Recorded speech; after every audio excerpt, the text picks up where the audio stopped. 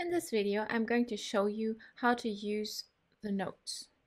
So just click here on notes. If you don't have it in your dock, you can just click on applications and then notes and start the program. And here you can already see my notes.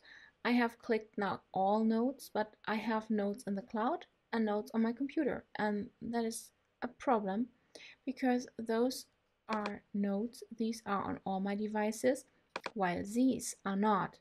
So be sure you don't make this mistake. You can easily change that. You can just drag and drop this under iCloud and it will also be on your devices.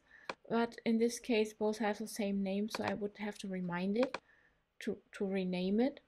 And then I can drag it into the iCloud. Okay, um, so let's make sure we have clicked on iCloud and notes and here I can make a new note and then type in whatever you want um, and um, well I just type now. Quick tips.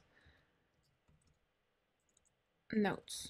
So now I can do my notes.